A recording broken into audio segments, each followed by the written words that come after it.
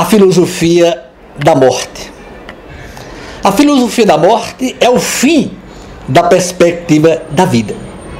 Hoje, na conjuntura mundial, nós estamos assistindo esta filosofia que cresce a cada dia mais nos movimentos extremistas né, islâmicos e aqui nas pequenas organizações de grupos de jovens em bairros né, que vão assumindo o papel ou querendo assumir o papel do Estado e da lei no seu próprio espaço.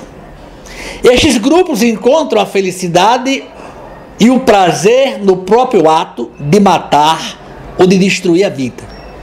Isto porque vão construindo no dia a dia da vida através de uma internet aberta, onde cada um de forma espontânea vai construindo o seu modelo de educação, a sua visão de mundo, de homem, de Deus, de história e de sociedade, sem que tenha alguém que o conduza, que o oriente. Que tipo de educação e de sociedade esse jovem está construindo? A sociedade sem saída, sem perspectiva, a sociedade da morte. O que fazer para isso? O que fazer é de imediato a sociedade perceber que educação é algo muito maior do que mandar um filho para sala de aula. É algo muito maior do que pagar uma mensalidade num colégio particular ou enviar o aluno para a rede pública. A educação é a preparação do caráter, da moral, da visão, acima de tudo, da vida.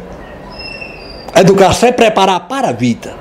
E hoje, a educação que o jovem constrói algum segmento, a educação que prepara para a morte. Daí nós assistimos hoje, nos noticiários da manhã de hoje, jovens que matam, que não se arrependem de matar, que têm prazer no próprio ato de matar, e se chama a praxe do absurdo e da irresponsabilidade. Esse, essas atitudes levam a um questionamento do aparelho estatal, jurídico, repressivo. Esse aparelho está fracassado, está fracassando.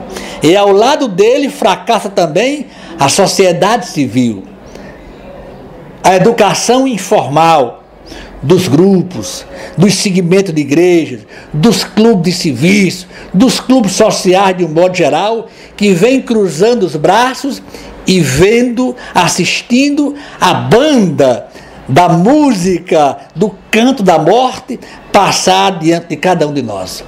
A omissão, neste momento, para nós do Nordeste, do sertão de Cajazeiras é muito mais grave, é muito mais criminosa do que a própria praxe dos assassinos que matam hoje sem mensurar a gravidade e o perigo dos próprios atos. Padre Francivaldo, direto ao ponto.